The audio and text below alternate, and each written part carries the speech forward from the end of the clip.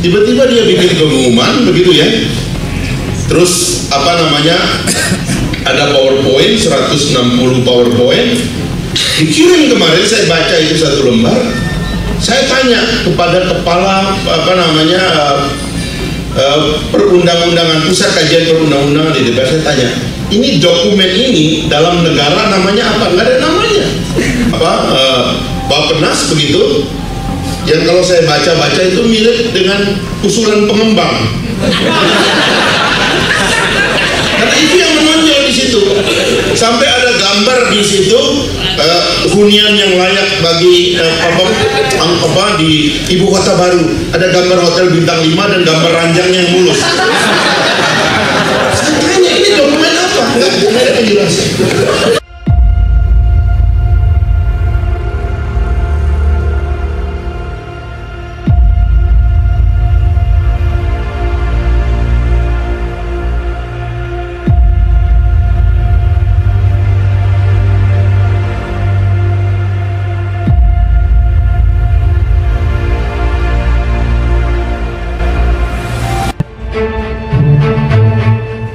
satu bulan jelang upacara perdana 17 Agustus di IKN, publik bertanya-tanya seperti apa kesiapannya.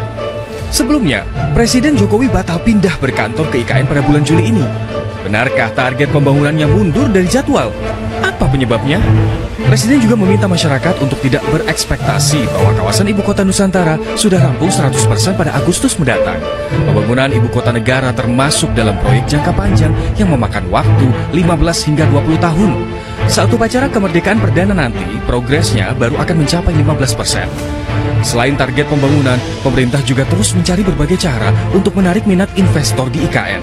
Sejauh ini, pembangunan pusat inti IKN masih mengandalkan APBN. Jemput bola, bahkan dilakukan Presiden Jokowi langsung ke Abu Dhabi untuk menindaklanjuti komitmen investasi raksasa properti Uni Emirat Arab bagi ibu kota Nusantara. Di negara kita ini orang tuh kalau sudah jadi pemimpin, termasuk juga kalau orang sudah jadi orang terkenal gitu ya. Orang tuh tiba-tiba meletakkan kepada kepemimpinan kita itu atau orang itu kelebihan seolah-olah dia nggak bisa lagi dikritik. Dan bahayanya orang itu kalau sudah jadi pemimpin, dia memagar dirinya dengan sumber-sumber kewibawaan yang menyebabkan orang nggak bisa menyentuhnya. Dan orang mencari ini dikumpulkanlah intelektual-intelektual kan untuk membenarkan seolah-olah yang dikatakan oleh orang bodoh ini pintar.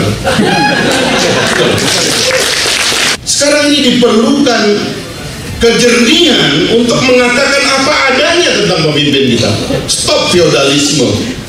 Karena itu adalah musuh demokrasi. Dan di sekitar presiden ini feodalismenya banyak betul. Saya lihat cara orang memilih presiden apa memuji-muji presiden itu udah berlebihan. Apalagi pada hari-hari ketika menteri mau ditentukan, semua yang dilakukan presiden menjadi benar padahal salah semuanya. Tadi seperti soal wali kota, apa soal ibu kota. Bagaimana presiden berpidato, dia nggak ngerti ini negara. Dalam negara itu ada namanya undang-undang dasar, ada namanya undang-undang, ada lembaga lain, ada metode menuju keputusan.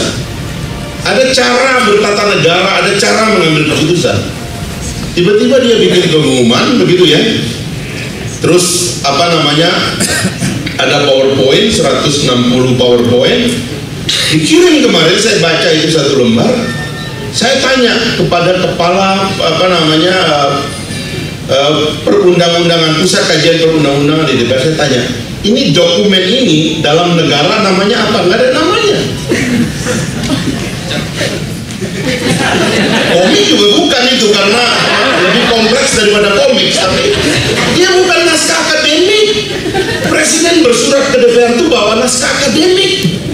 Bawa daftar isian masalah dalam konsep draft rancangan undang-undang. Tiba-tiba ini ada apa namanya dokumen ya PowerPoint sebenarnya dibuat oleh apa e, Bapenas begitu.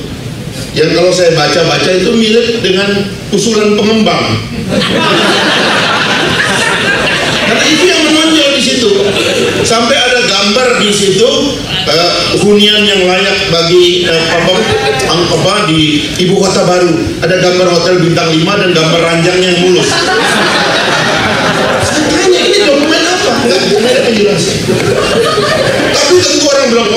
lama dipikirkan oleh Bapak Presiden. Oh itu sudah itu sudah merupakan pikiran dan kajiannya sudah mendalam. Padahal tadi itu amdalnya baru nanti bulan November katanya.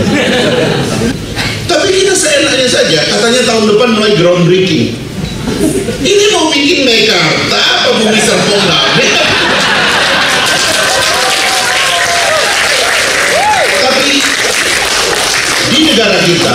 Pemimpin itu nggak bisa salah. Pemimpin selalu benar dan akan ada orang yang memuji-mujinya. Paling tidak nanti sampai bulan Oktober tanggal 20 ya kan? Atau bulan November nanti akan terus ada yang memuji, yang menganggap ini luar biasa. Terutama ya kaki tangannya kontraktor lah. Karena dia sudah kapling tanah di sana mulai bayar-bayar. Sementara kita dengan Bung Rocky, saya nggak tahu Pak Fadli ya karena sama juga Pak Fadli nggak punya tanah di Kalimantan Timur. Hashim mungkin ada. Nah kalau beliau kan sudah mengatakan saya akan gila saya tidak akan punya beban itu diterjemahkan dengan mengajak orang seperti Bung Rocky. Bung Rocky tolong ceritakan apa masalah saya. Mungkin kita ada harapan lima tahun ini. Tapi kalau tidak perkelahian segera akan terjadi elit ini akan terpecah blocking akan terjadi di Senayan ini termasuk akan terjadi blocking dan saya kira presiden akan jadi korban bagaimana presiden itu jadi korban terlalu banyak keputusan Pak Jokowi sampai hari ini yang dapat menyebabkan dia dihukum baik secara politik maupun secara hukum pidana dan itu bisa terjadi pada periode yang akan datang. Maka di mana letak kita? Bahkan ketika Pak Jokowi misalnya harus menjawab bahwa keputusan politik dia hari ini termasuk meninggalkan seluruh uh, nilai dan uh, masa lalu bersama PDIP itu adalah sebuah keputusan politik. Untuk sesuatu yang lebih besar itu pun tidak bisa kau pahami. Uh, saya bisa memahami karena saya pernah diomelin di istana. Pertama kali saya ke istana dan itu setelah itu saya tidak pernah lagi ke istana. Uh, karena dibilang kamu itu terlalu gaduh dan terlalu bicara soal ideologi Siapa yang mengatakan begitu? Pak Jokowi. Dia bilang gitu. Nah, kita tidak butuh ideologi gitu. Kita hanya bekerja. Nah, saya uh, saya orang yang tidak menghakimi orang lain. Ketika beliau berstatement seperti itu, berarti saya merasa itu tadi saya nggak kita nggak bisa bareng bertemu. Kamu tidak mencoba mendebatnya waktu itu bahwa tidakkah Bapak diusung oleh PDIP dan orang PDIP dan kemudian PDIP itu adalah partai yang dengan gagah perkasa mengatakan kami partai ideologis. Kau tidak sedang mendebatnya waktu itu? Uh, menurut saya apa yang seseorang itu kan cogito ergo sum ya. Hmm. Jadi apa yang dia pikirin. Jadi kalau itu diucapkan mungkin tidak di dalam satu pertemuan yang sebetulnya cukup resmi meskipun kita stadinya bersahabat sekali. Itu Pak. Uh, kalau boleh di uh, Pak Pak Fibri mau ada tambahan yang perlu Menteri, ya, saya perlu klarifikasi okay. lagi tadi dikatakan bahwa ada di BA Bun terkait cadangan subsidi pupuk yeah. dan IKN. Itu yang di rekening berapa? Saya cari-cari nggak ketemu ini Bu. Kalau misalnya di 999.08 itu kan nggak ada rincian kita hanya kasih kriteria yang 20H tadi. Nah itu di rekening yang mana itu? Ya di situ Pak. Ya berarti kita... kan nggak ada spesifik Bu, diada-adakan jadinya. Kan Sebetulnya tadi kesan saya Ibu mengatakan seolah ada cadangan pupuk nomenklaturnya.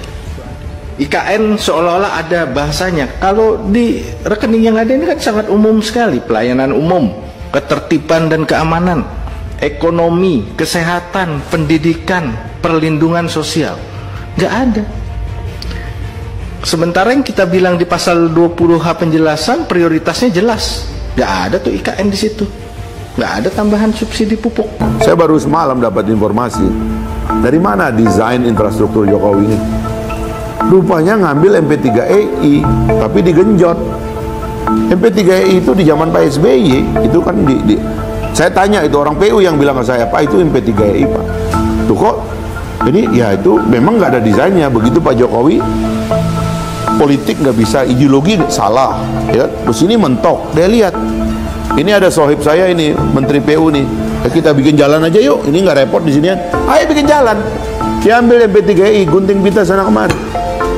Di tengah jalan bleeding. BUMN berutang lebih besar dari utang yang pernah ada sepanjang sejarah. Lebih besar daripada utang pemerintah. Utang pemerintah juga tinggi. BUMN sudah mau dijual. Katanya mau mengalahkan Petronas untuk apa namanya eh, Pertamina. Pertaminanya bangkrut.